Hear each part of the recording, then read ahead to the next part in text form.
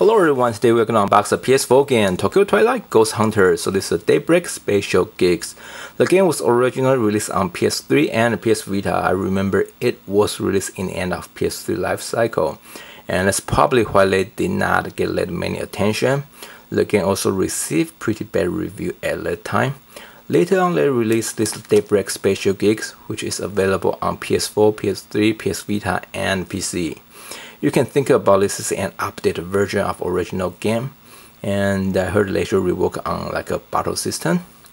And if you take a look at the cover it's actually have totally different design compared to the original one. And I actually prefer this one more. I mean the original one does not look that appealing to me. So now let's look at the side quickly. And let's look at the back. So in the back we see five gameplay pictures. And they say sharpen your sense once again. And here we see a little bit game summary and above each gameplay picture, they talk about some game features. So underground ghost hunting, now with daybreak scenarios, new scenarios spice up the story, and also predict your enemy's move. So from what I heard, this game actually contain like uh, adventure, visual novel, strategy, and RPG elements.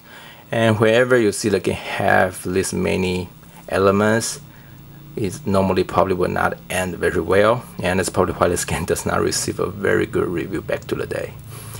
So now let's look into some detail here. So this is a one player game, require minimum 5500 megabyte hard drive space. And now let's just open it to see what we have inside. Okay, let's remove the seal.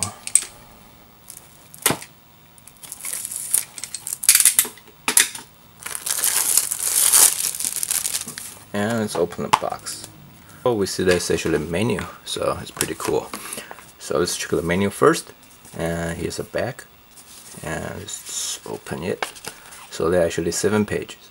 And uh, so first is a controls interval. And this is actually a black and white menu. And battle talking about game system. And in the end it just sounds like a software license agreement and uh, let's so it's a pretty nice menu. They contain a lot of useful information. And now let's just check it again. So here's the disk and it's actually the same as the cover. So behind the cover we see actually the just blank space. So I think that's it.